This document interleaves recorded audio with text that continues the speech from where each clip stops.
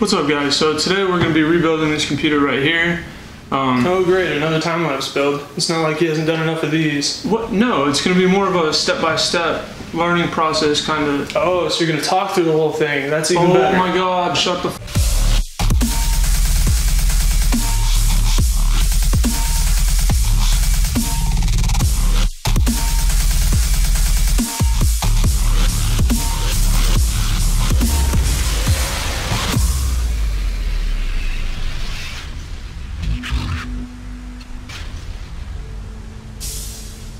So this build was originally a workstation for somebody. Um, I ended up building them a new computer and they gave me this to help mitigate the labor cost. So um, on its own, it probably wouldn't fetch very much on the used market, maybe two or three hundred dollars, um, but it can be repurposed and given a second life, which is what I intend to do today. So um, inside this computer is a 4790 Intel processor and a 750 Ti. Now, people who know and who've tried the game on 750 Ti, there's not very much it can handle. Um, in this case, it's kind of dated, not to mention dirty. I'm guessing the power supply probably isn't hefty enough on its own to deal with a higher tier graphics card. So today what we're going to be doing is we're going to be pulling out all the components of this computer, seeing what we can incorporate into a new build, cleaning them, and then adding the new components for what will need to be replaced. So this is going to be more of a how-to video on whether you're just cleaning your computer, whether you're updating your existing computer or whether you would like to try and find a used deal, like a good deal on a used computer and refurbish it and uh, flip it for money too. Um, first thing we're going to do is we're going to pop this case open. We're going to see kind of the condition of the parts and we're going to unplug the power supply cables from everything. We're going to start to remove components individually and clean them.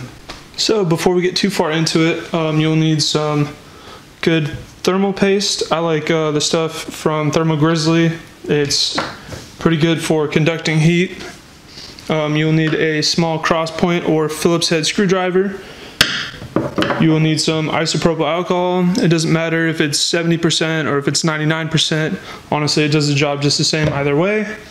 And you will need some paper towels, shop towels, uh, something to that effect for cleaning off dirty components and for removing the thermal paste from the CPU.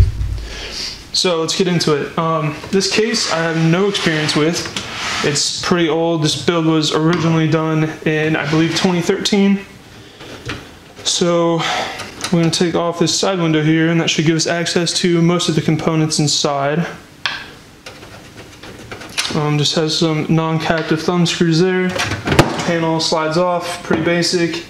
But here's something automatically to note. Um, there's a giant 200 millimeter fan on the side of the case panel.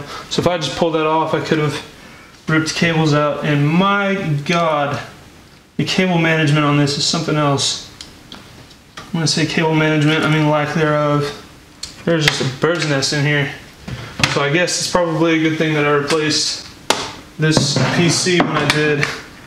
This is not looking too good. Okay, so right here we have the graphics card. There's the uh, Thermaltake power supply right here. Um, I'm trying to see how many watts this is. It is an 850 watt power supply. Wow, so this actually probably could be reincorporated into the new build. Um, but with how old it is and the fact that this is run non-stop pretty much for about five years now, um, we're just gonna go ahead and use our new EVGA power supply. So the first thing I'm going to do, um, I'm going to just unplug everything that I can. So anything that doesn't need to be in there. Uh, let's remove this graphics card to give us a little bit more room to work. So that doesn't need to be in there. And there's only one screw holding it in. All right. So we got that try and push these cables out of the way, get to the latch, you just push in that tab that's at the back of the graphics card and wiggle it out.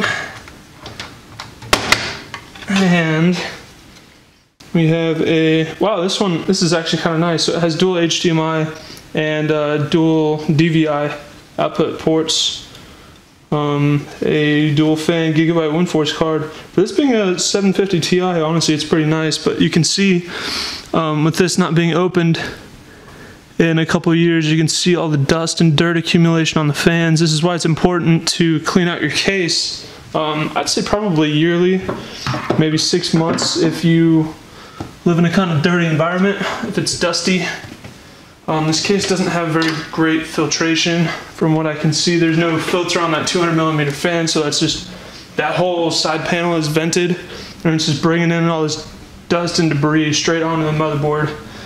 So um, it's not an awesome design. All these fans are Molex. Wow, really takes you back to static speed Molex fans. That's crazy you really don't see these anymore. Um, these aren't really, I don't believe they're really being produced like this anymore. Um, from what I've seen, everything is either 3-pin DC or uh, 4-pin uh, PWM. So now we're disconnecting the bottom USB headers and rear panel audio, the front I.O. for the case, all that, just kind of unplugging it. None of this stuff really needs to be plugged in. Uh, we're to be actually unplugging everything. So, okay, there's USB 3 on here, that's nice. Let's take off these SATA cables. That one didn't even have a tab on it, that's crazy. Didn't have a uh, metal tab. How many drives are in this thing? So far I've counted four SATA cables connected to this, which is pretty wild. That's a whole lot of SATA going on. Okay. So let's see here. This top two are exhaust, that's exhaust. And we just have the one big fan for intake. Okay.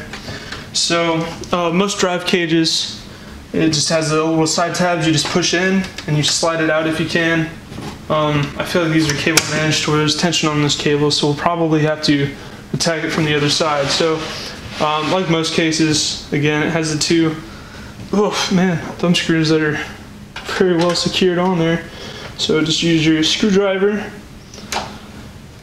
and go ahead and pull, or uh, I should say unscrew these two thumb screws on the side here. And just like the front panel, will just slide and pop off. Now every case is different, so if your case doesn't, um, if your case panels don't come off like that, you know, don't hold me accountable for that because every case is different. Wow, look at the, whoops. Look at the dust on this. That is insane. I've never seen dust accumulation like this on a case before. I don't know how well you can see how dusty it is, but my God, that is bad. That is probably the dirtiest case I've ever seen. I'm sorry, I have to take a picture of that real quick. That's amazing. Wow. Okay. So uh, back here you can kind of see we have access to the drives. We're going to go ahead and undo the data cable and unplug the sour, uh, the SATA power connectors, the sour cables, the SATA power connectors. So this way, with that being freed up, uh, we should be able to pull these drives out from the front now. And just for the sake of saving space, let's go ahead and put these panels somewhere else on the chair next to me. Okay, so we flip it around and these drives should just slide out. So that is a two terabyte Seagate drive. And here we have another terabyte or two terabyte Seagate drive. Uh, I believe they were running in RAID 1 because this was a workstation and the information on there was pretty important. So over here, we're gonna undo the 24 pin ATX cable. That is the easiest an ATX cable has ever come out for me, ever, so that was awesome.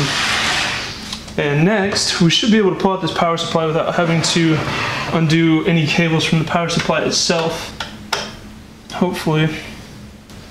So let's take these four screws out. And if at any point I'm working too fast, um, feel free to pause the video and review kind of what we've done. But so far we're just disassembling everything, undoing all the connectors so we can get the parts out. And then we will be cleaning everything for reassembly into our new case. Um, whether you use a new case or an old case, doesn't really matter. It's all fundamentally the same. So here's our power supply. We're getting hung up on some of these cables here. There's just a lot going on. There's just tons going on. Oh man, look at the dirt accumulation on the power supply. Oh my god. I am really impressed that it has lasted this long in this condition. Because this is a record breaking, dirtiest PC I have encountered to date. Oh, there's an optical drive in there. That's not something you really see anymore either. Most people don't have disk drives. So, because everything's so widely available on the internet, most people just prefer to download things rather than install from a disk. Okay, so down here we got a little Samsung SSD. Go ahead and plug that. Get this SATA cable back through. And definitely, if you're feeling tension on any of the cables when you give them a, just a light tug, uh, don't pull on them super hard because that is how you break things and you might end up damaging something that you intended to reuse. Okay, so there's our Thermaltake power supply out. Um, now we are left with the motherboard and the CPU. None of these fans will be reused, so none of that really matters. Okay, so here's the motherboard. And our CPU, our RAM and everything is in here. So we're gonna go ahead and just take out these screws so we can pop out our motherboard. Get this case fan header out of the way. Okay, so what all is plugged into the motherboard? Well, we have our stock Intel CPU cooler. Okay, we have this Molex connector for the fan. Go ahead and get that out of the way. Anything else plugged into the motherboard? This is very critical to make sure that there's nothing else plugged into the motherboard, no fan headers or anything. Uh, it seems like all of these fans are Molex, which is driven off of the power supply. So that is not something we have to worry about. So we're gonna go ahead and take out these motherboard screws. This is an ATX case and an ATX motherboard, so I believe there should be about nine, if I'm not mistaken. Again, this is an older board, so it might be a little bit different. So there's two. I want to say there should be another one. There's just two down there. Okay. Two, and we have three. So yeah, definitely. Um, I mean, when you clean, you don't have to go this extensive. Um, if you clean routinely enough, usually you can just take a can of compressed air and spray out your components while everything is still installed.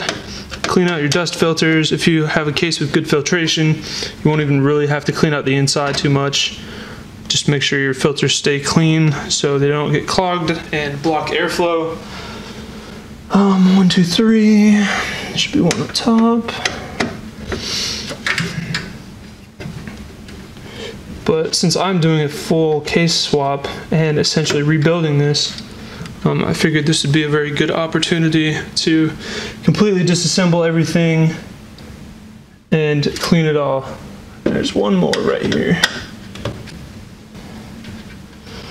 I feel like standard ATX motherboards have more screws than this, but I could be wrong. I have been wrong before. So that doesn't sound good. Why is it doing that?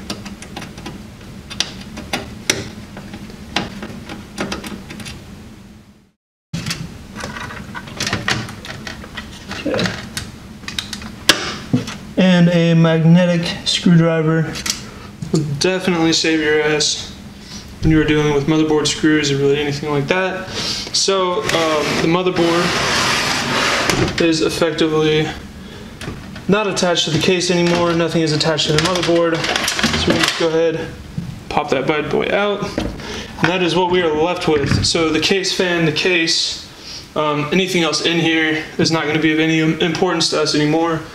Um, so we are just to, whoops, leave this off to the side here and that is probably gonna go in the dumpster. Okay, so that SSD that was down there um, is attached from the underside of the case with four tiny little screws. Whoops. Make sure the magnet in your screwdriver is worth a damn. Otherwise, there's really no point. Whoop. Two for two. Maybe I can take one out without dropping it. Maybe my cat won't eat. Moose! Get out of here. Please don't eat the hardware. Alright, hey, I got one. Looks like one of the standoffs came out too. Interesting. Hopefully with the new case, we won't need standoffs. Hopefully they will come pre-installed. I absolutely despise it when case manufacturers make you install your own because that is just wasted time. Okay, and here's our Samsung 840 Pro, uh, which was absolutely the bee's knees back in the day, and we'll probably still post up some good benchmarks today. Um, 250 gig or two, 256 gigabyte uh, boot drive, two and a half inch. So that would be nice to have for our new build. So here are all of our components that we'll be recycling. Um, this isn't going in the new build, but I will clean it up. I will bench it and check temps and uh, post it up online if somebody's interested in grabbing that. Um, if even just for display output, I mean, it would work fine. So we have our two two terabyte drives. We have our 256 gigabyte SSD. We have the motherboard. We have the stock Intel cooler, which is getting replaced, and we have the GPU. So all of these things um, I will clean. I will show you how to clean them properly, and um, I'm actually just gonna give this a good blowout with some compressed air. Um, but we do have the replacement GPU, which I picked up used, uh, so that I will disassemble and repaste and show you how to clean that out properly because the heatsink on the new one is still pretty dirty. So uh, yeah, let's get into it. Okay, so we're gonna start off with the uh, the drives here. These are the easiest thing to clean off. So you just wanna rip off one sheet of your paper towels and if you can get them in half sheet increments that makes it even easier because honestly this is a bit too much material. You really don't need this much. Uh, I folded it into quarters just to make it a little more manageable. So you take your isopropyl alcohol and oops, just get the corner of that. And then essentially just wipe it off. Just make sure there's no dust on it or get most of the dust off. Um, this could help with temperatures and if anything, just make it look nicer so you're not putting dirty old gross parts into your new build.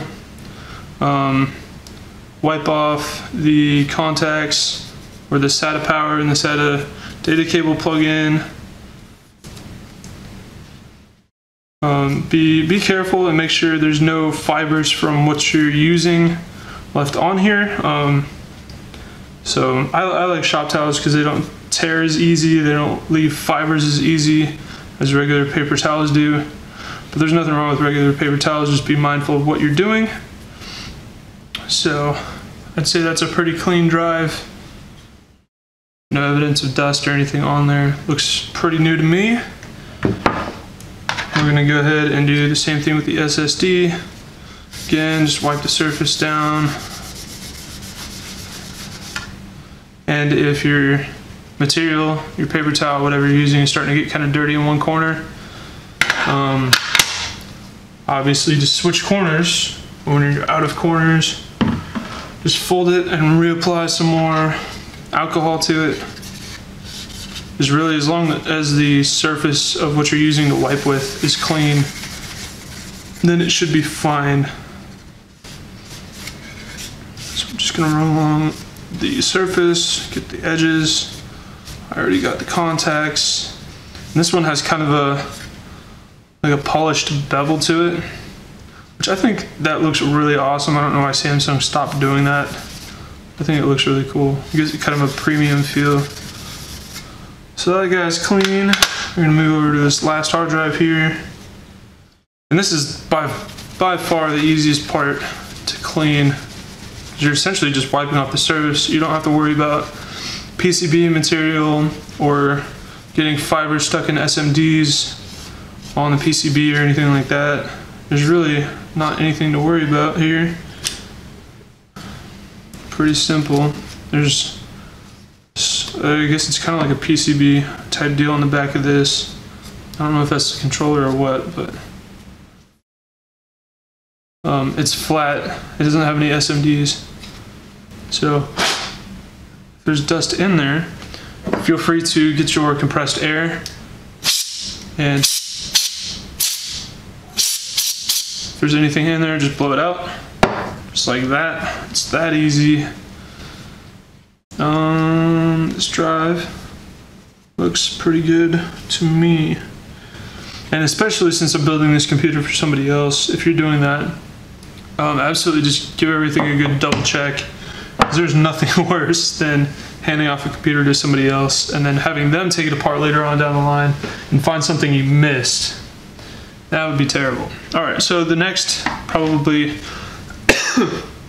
second most difficult thing to clean would be the motherboard. So here we're going to pull the cooler off because that'll be getting replaced. Um, with the fourth gen Intel socket, it has these weird um, kind of pegs that hook into the motherboard. So you have to turn these and then they pop out. Were these not even secured in the first place? Okay, so this is a five-year-old computer. I really hope the CPU is not still attached. That would suck. So it feels like it's still being held in there. There we go. Okay, so you just have to pull through a little bit. I really hope that CPU is still on the motherboard. Yes, all right. Wow, there's really not that much thermal compound on there. So, cool. Okay, well, um, we won't worry about cleaning the stock Intel cooler because that will never, ever, ever be used by anything from me. That will be going straight in the garbage or being used as an office decoration because that is all they are good for. So with cleaning off the CPU, all you want to do is get some of that alcohol on there and then make small circular motions on top of the IHS, on top of the surface of the CPU, and you can see you're pulling off all the thermal paste. So after you've done that initial circular motions, go back without alcohol, go over it again, and that should pull the rest of it off of there. Looking pretty clean. Um, for this, I'm not going to pull the CPU out of the socket because that is just unnecessary. We're not replacing it. We're using the same motherboard. So I'm just going to try and clean this locking mechanism as best I can. I will move the locking mechanism arm though and clean that off.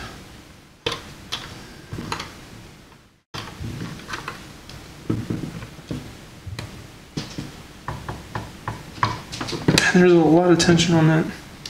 Okay, so that's clean. So for cleaning the rest of the motherboard, um, use your compressed air. Make sure to try and keep it upright as much as possible. Don't tilt it. Um, it won't work as well. So right here you can see there's a whole bunch of dirt in this uh, PCI slot.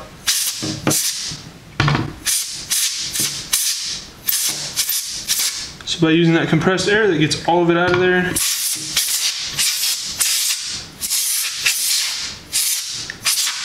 kind of just go over the entire board. The I.O. I find usually gets pretty bad, the rear I.O. does. Getting all the cracks and crevices. That's where the dirt is going to hide the most.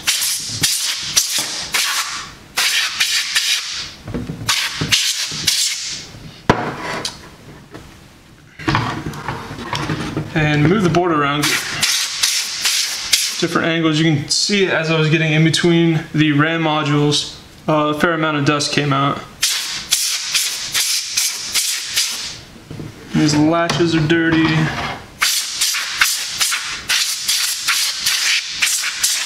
These heat sinks have a fair amount of dust in them.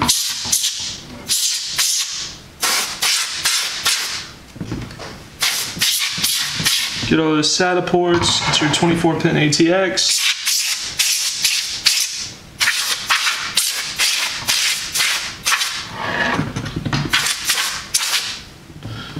And as you can feel uh, your compressed air bottle get cold, you kind of need to give it a break. It'll not work as well for a short period of time. But this board overall looks really good now.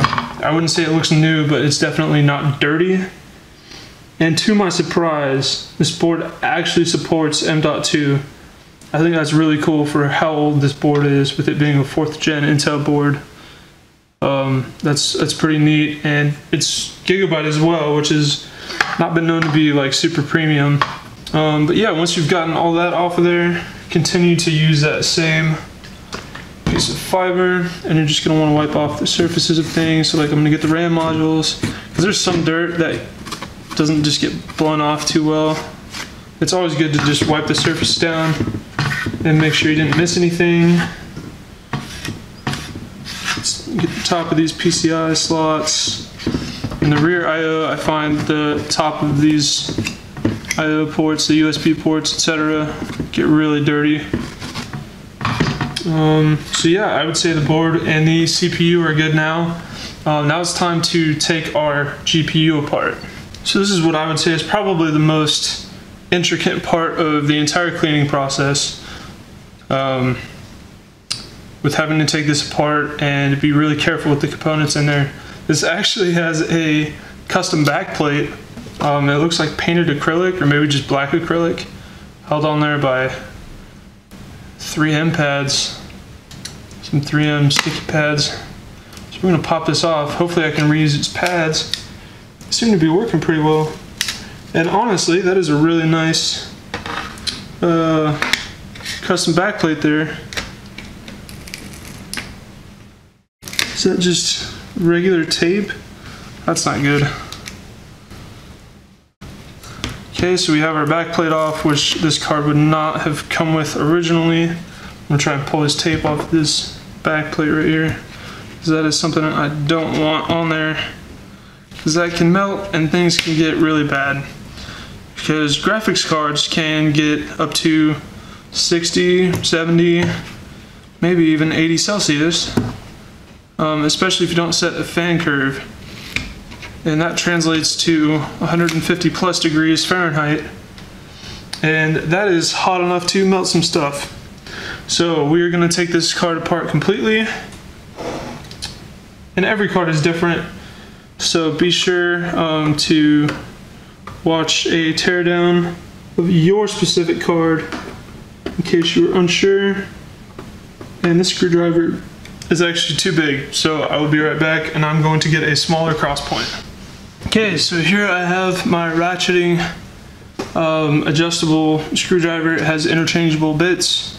It's very nice. The only thing I don't like about ratcheting screwdrivers is the play it has in the head or the ratchet gears. That can be kind of annoying. So I'm gonna go ahead and start by taking off the four screws in the center. Um, and this usually attaches the cooler to the PCB. These little spring-loaded screws right here. And they should come right out if you have the right size screwdriver. If you notice the tip of your screwdriver spinning inside the grooves for the screw, then it is too big or too small. You could round out the inside of the screw or strip it out. And that would be terrible. So don't try to make it work if you don't have the right size, then get the right size. If you use the wrong tools for the job, it won't go well and you will end up making more problems for yourself. So, I think we got lucky here and that's really all that was holding this card together. Yep. Okay, so let's see what's going on here. Okay, so we have a fan header over here that needs to come out ever so carefully.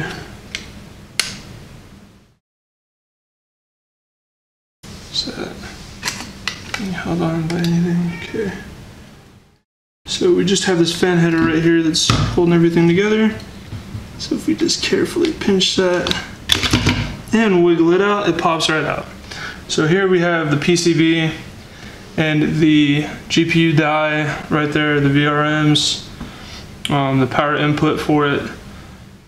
So yeah, we're going to give this a good cleaning. Um, I don't want to take this plate off because there's almost no chance that there's going to be any dust under there. And then we have to redo thermal pads and things like that. Um, that won't be very fun. So I'm just going to clean this how it is. That's really all you should have to do. You really shouldn't have to get too too much more intimate than that. That should work just fine. So again, apply some alcohol and get that old paste off of there. And this is a 9 series card, so it's been around for a minute. It's it's seen some stuff and done some work. So it's not a bad idea to go ahead and clean it out. Honestly, I probably would have left it alone had I not seen how dirty the heatsink was.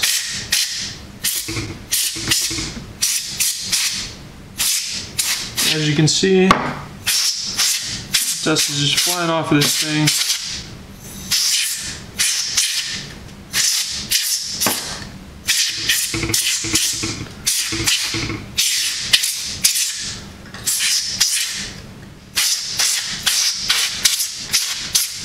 It's had some use in its days.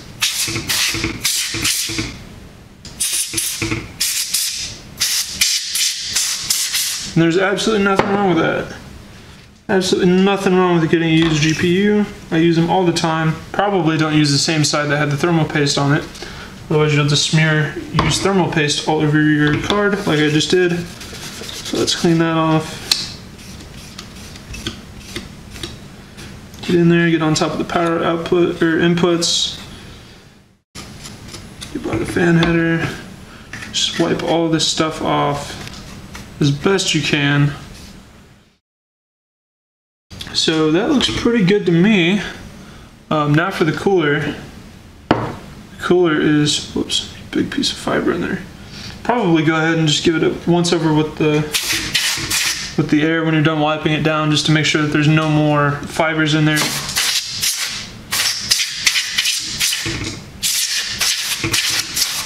Okay, so if you get fibers stuck in your card, that can be very bad because graphics cards get very hot and small fibers are very flammable. So you can see why that combination would be less than ideal. Also, you can tell if the paste is super hard when you go to scrape it off it comes off in chunks, then it was probably time to replace that thermal paste anyways. So you can see a horrendous amount of dirt and grime in this cooler. Maybe you can't. Let's turn on autofocus. Maybe you can see exactly how dirty it is. It's definitely less than ideal. There's a whole bunch right here. So, uh, yeah, it's definitely a good idea to pull that cooler off and, let's fix that autofocus. And freeze, okay. So yeah, it's definitely a good idea to pull that heat sink off. Ugh. And do this in an open area and not right next to your face.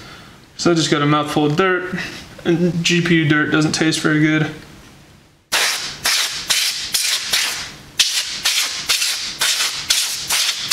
Oh my god.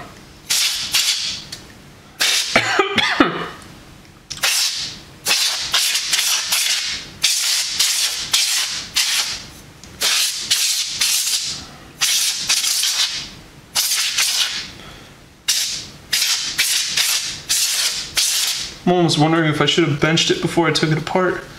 Oof, see what temps hit.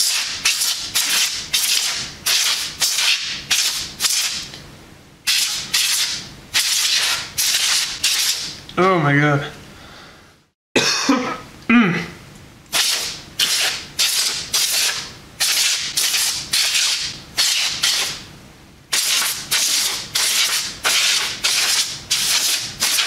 Oh no, our can of air is losing power. Oh, it's a good thing that it was pretty much done, pretty much done cleaning stuff by the time it's gotten to that point. We got lucky.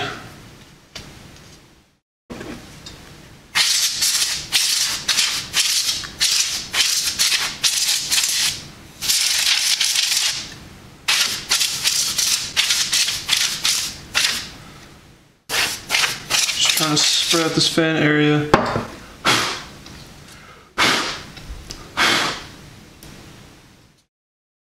So that is exponentially better than it was. I'm gonna get a new shop towel here and try and scrub that contact plate, the cold plate on this heatsink a little bit better. There's, I wouldn't say it was thermal paste, I don't know really what that is on there but it's not just regular copper.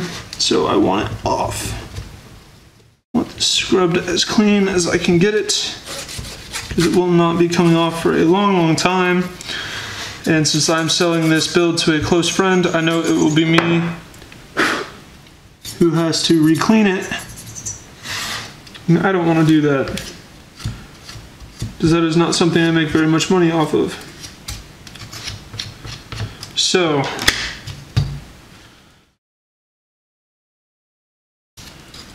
and obviously clean the outside of the heat sink as well.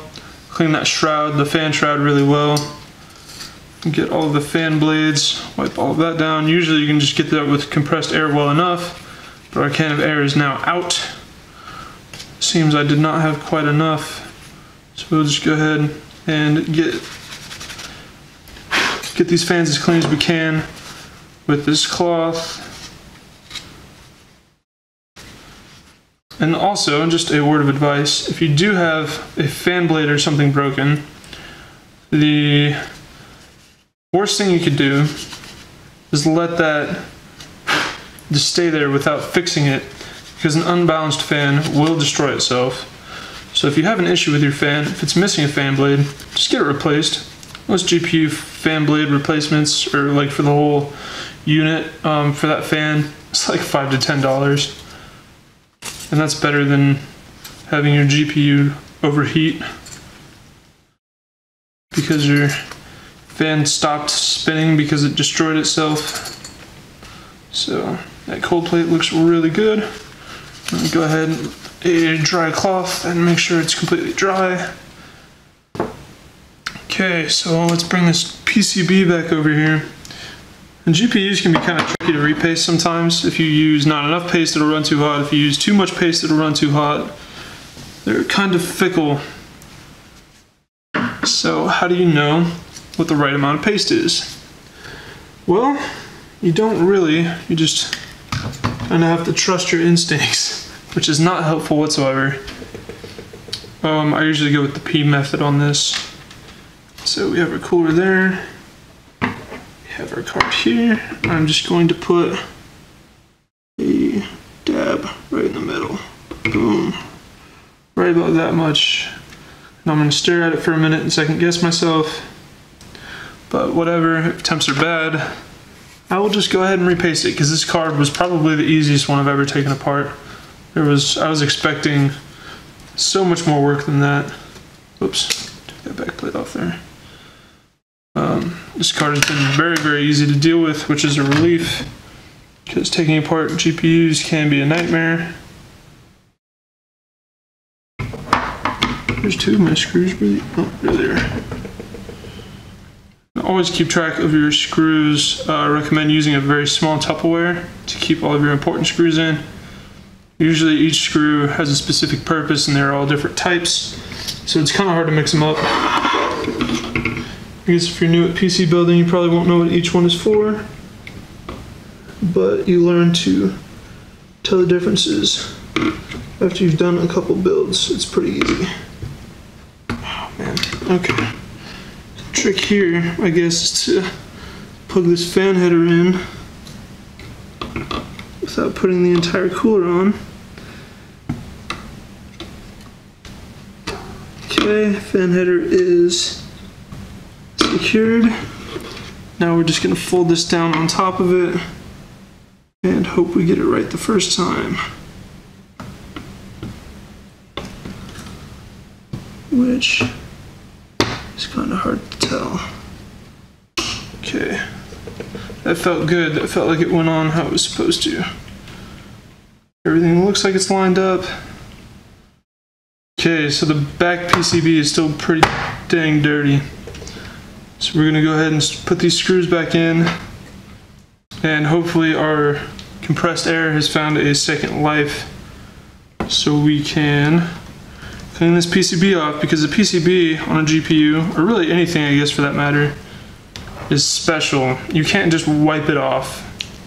And that is because all these SMDs, uh, surface mounted devices, all these little capacitors, and every little contact that's on here, um, whether you're using a paper towel or whatever else to wipe it down with, um, it will snag on those and you will get little fibers all over this thing. And like I said, with it getting as hot as it does, that is not ideal.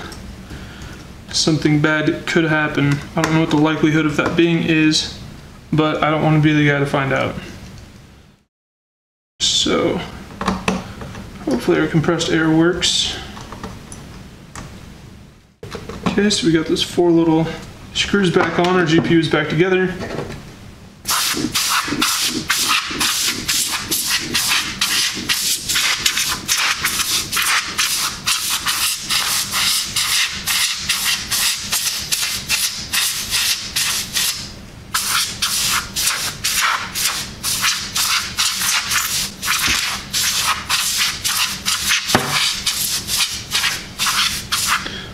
So that helped a little bit, didn't really do a ton.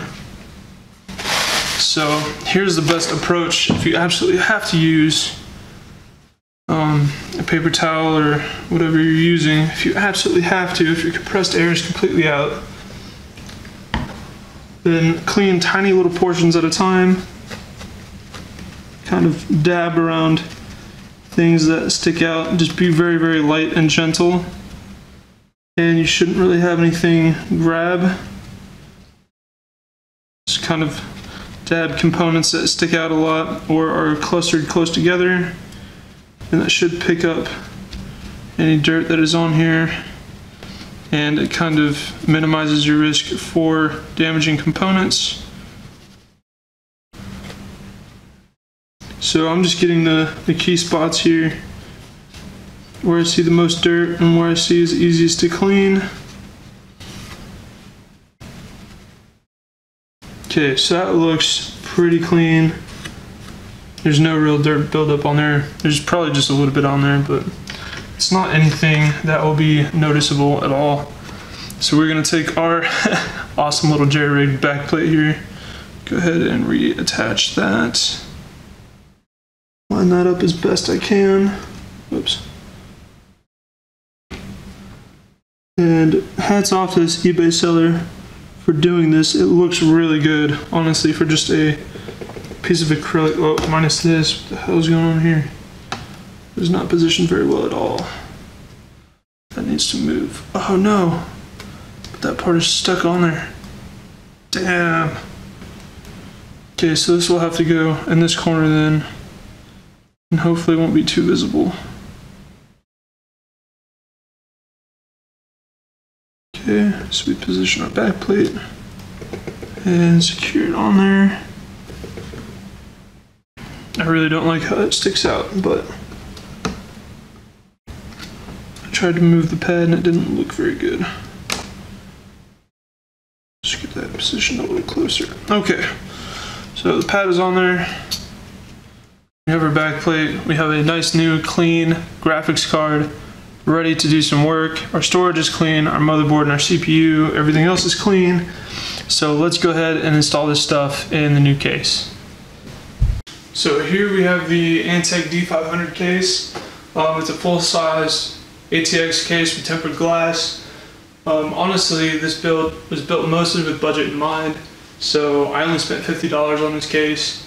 So hopefully that should give us all the modern niceties that we need for this build while also trying to keep the um, price point low. So let's go ahead and unbox it and kind of see what we're working with here because I've never dealt with Antec before. So.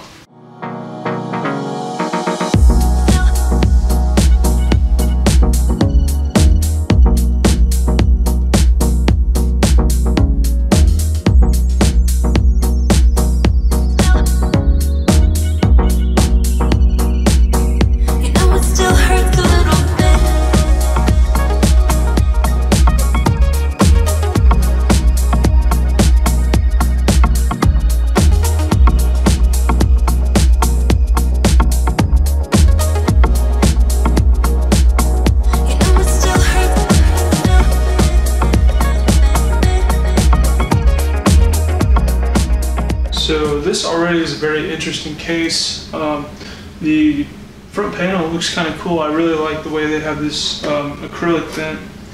And there's ventilation here on the sides. Uh, there's probably about an inch to an inch and a half gap in between where the fans mount and in between the acrylic here. Um, the acrylic side panel is interesting. It mounts on as if it would be tempered glass. So I don't know if there's some kind of tempered glass replacement for this, um, but it is just a sheet of acrylic essentially that fits over the side of like tempered glass would. And then you have the four thumb screws that hold it in. Um, the case does feel kind of cheap. It doesn't really flex or anything. It's it's sturdy. Um, it has a dust filter here on the top that is removable. And interestingly enough, the dust filter that is here on the front um, is magnetic, but it doesn't go in behind the front panel. Like the front panel doesn't seem to be removable. The front panel um, dust filter is here and it goes in uh, just behind the fans. It just attaches where, where the fans are, or maybe you have to bolt the fans in over that. Um, there's a nice gap here that allows for you to do push-pull if you put a radiator there in front, which is nice. Um, it seems like there's a really good amount of room uh, depth-wise, so you can mount a pretty big air cooler in there if you wanted to. Um, I also like that there's top 360 support and front 360 support. I think that should be a thing that pretty much all ATXs, all ATX cases conform to. Um, there's a cutout right here for front USB and I/O. Cable management. There's no grommets, um, but there's cutouts for them, and it does have front USB, front USB 3.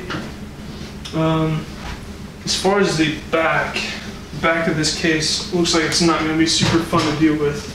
There doesn't seem to be a whole lot of clearance back there. Um, these rear thumb screws are plastic. That's kind of off-putting.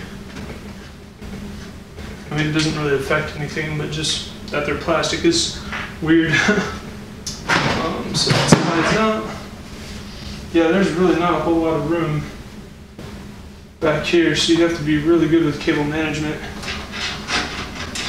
So we give us one 120 millimeter fan. We have our front panel audio, our USB 3, and then down here we have a drive cage for two, two three and a half inch drives. their case though, they managed to put holes in for their drive caddy, which is kind of funny.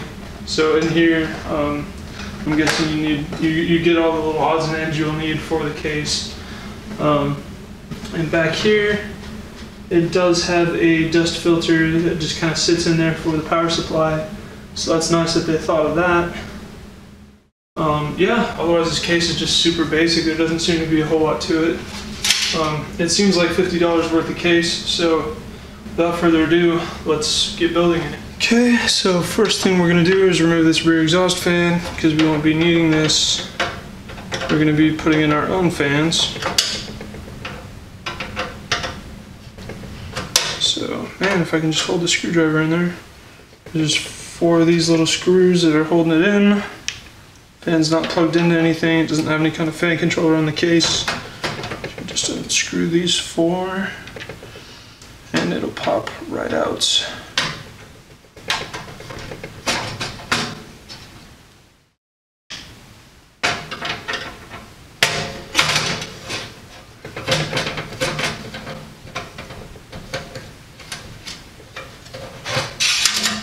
And out it goes.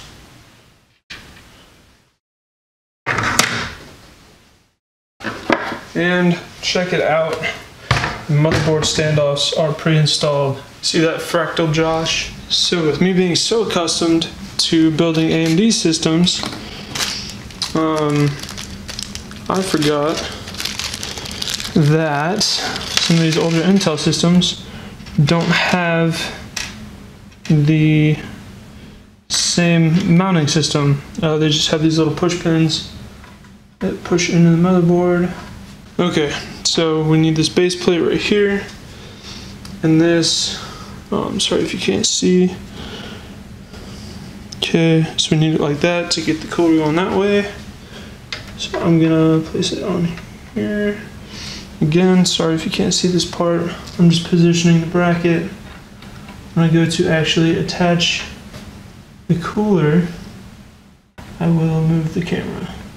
Actually, I changed my mind. For the sake of this not being a completely garbage video, I figured I would let you guys see what I'm doing.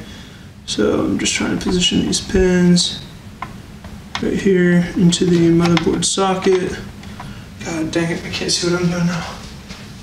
God dang it, okay. So come over here and not anywhere close. So trying to position these into the actual socket is really not super easy.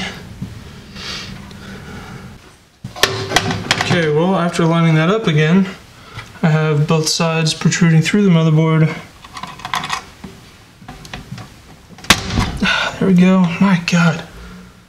That is really smashing it in there. Feel bad for the next person who has to pull his cooler off. That is not going to be a fun time.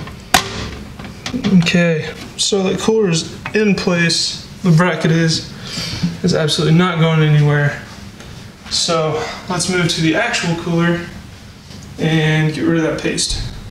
So here we have our CPU cooler and um, I have this undone. Usually it's wrapped up all on the base here. Um, to remove the fan, just pinch pull. Bring that cable with it. So on this, I'm going to go ahead and replace that thermal pad right there. It's not really a pad, it's more of a paste, but so we're gonna go ahead and get rid of that and put some of our own stuff on the CPU because we don't want to use this garbage. I've never used factory paste from a cooler and I have it end well.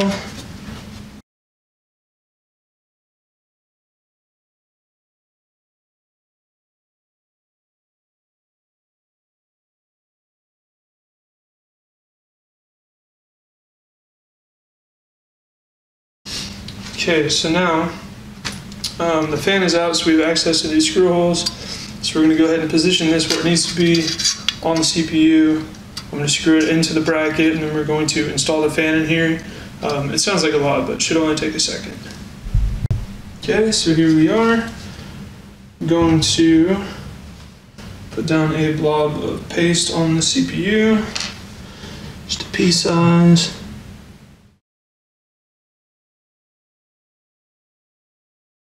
That ought to do it. Then we take our cooler and the included screws for it and a screwdriver. So I'm going to come over here and we are just going to install this cooler right on top of here. Try and line up that cold plate with the CPU as best you can so you don't smear it around a whole bunch which may have just happened. It's so hard dude. I can't i can't really see anything that i'm doing. Um, i wish i had my little desk lamp out here i'm going to use this to line up the screw holes. This isn't even working too well honestly. Wow this is not a great situation. Okay so i can see that screw hole is lined up perfectly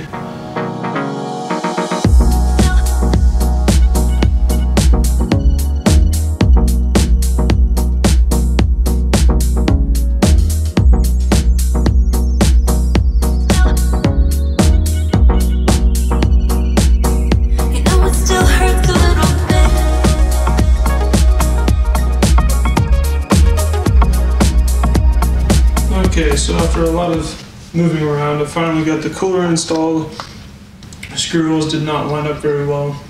So when installing your CPU fan, um, this is the front, obviously, this is the back. The back always has the um, manufacturer sticker on it, and you can see the fan frame as well. Um, so that is going to be where the exhaust is facing. This is going to be the intake. So we are going to make sure our fan has the cable threaded through and make sure the front of the fan is facing the front of the case. Push those tabs in, slide it down in there.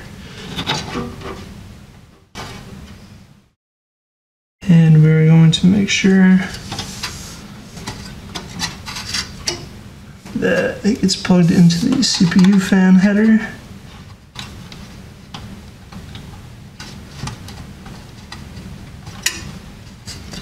And kind of tuck this cable back under here a little bit.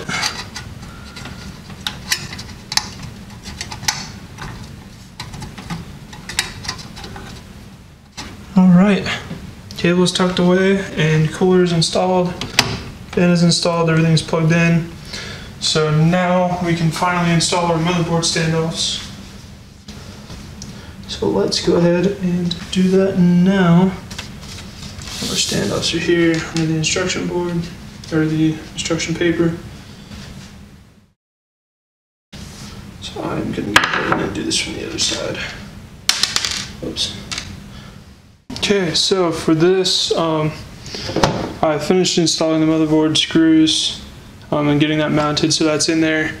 And this front panel just pops off like any normal front panel, so you don't have to like remove the the acrylic here, the acrylic front panel or anything. The whole panel pops off. Um, here's the dust filter, which is just magnetic, and you kind of have to screw it in between the fans and the frame. So that's not great, but it's fine. There's nothing wrong with that. So for this, we're gonna have to screw it in from the back. Um, I got the Aigo C5 fans. They have their own little fan controller. I'm disappointed it doesn't come with an, uh, a remote to control it. It only has the actual LED controller. So you'd have to pop the back panel off every time you wanted to change colors or modes or anything, which kind of sucks. These baggies are impossible to open, my god. Okay. So we got the four little fan screws. So you have that in there, but it slides around. Um, so I'm gonna go ahead and install the rest of these. And uh, yeah, I mean, it's pretty self-explanatory. Just hold the fan in place, get some of the screws in back, and then you're gonna feed the cables through the front, through right here.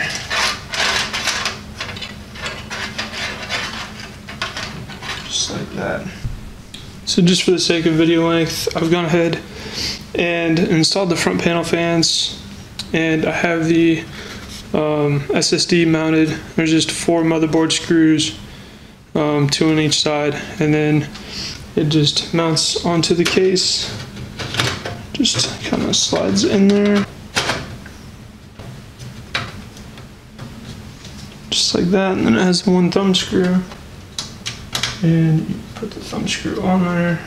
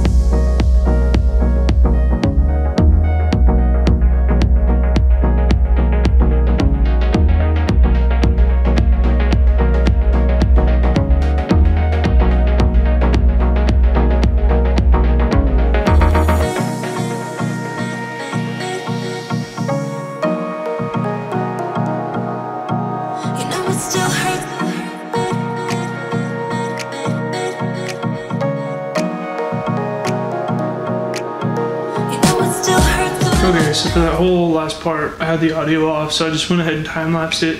Um, all I was saying is that when you plug your cables in your power supply, you will feel it connect all the way in, and you should hear an audible click.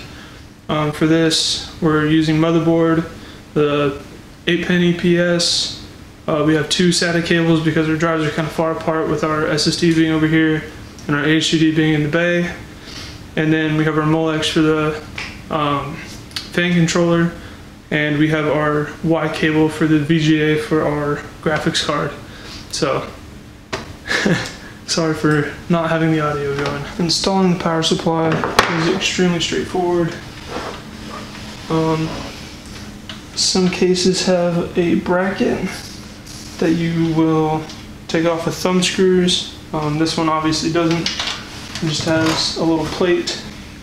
So what you will do is take your PSU with all of its cables, move all the cables out, slide the power supply in, like so. Oh my god, we have like no room. Oh, this is gonna be tricky. Whew, very small basement. This power supply's not even that big. Wow.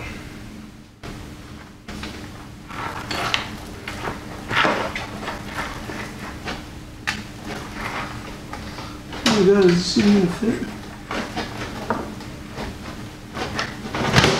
So, very, very snug fit there. I don't know why it's so jammed in there like that. This is an ATX case, there should be more than enough room. But apparently there's not. Okay, so there's four screws here on the back you just line up with. And, oops. Um, these screws will kind of had a like hex outline. I don't know how well you can see that. Um, it's kind of like a six point bevel around them. And you just take those and put it in the slot. And screw it in. Um, I recommend not tightening those down all the way because most of the time you will have to wiggle them around to get them positioned where they need to be.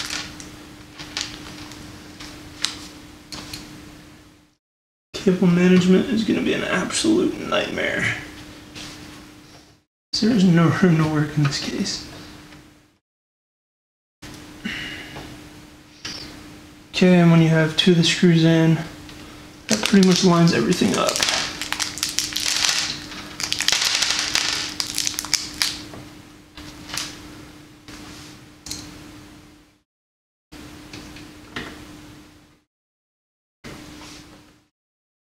So when you have two of them in, you should be able to put the rest in and tighten them down.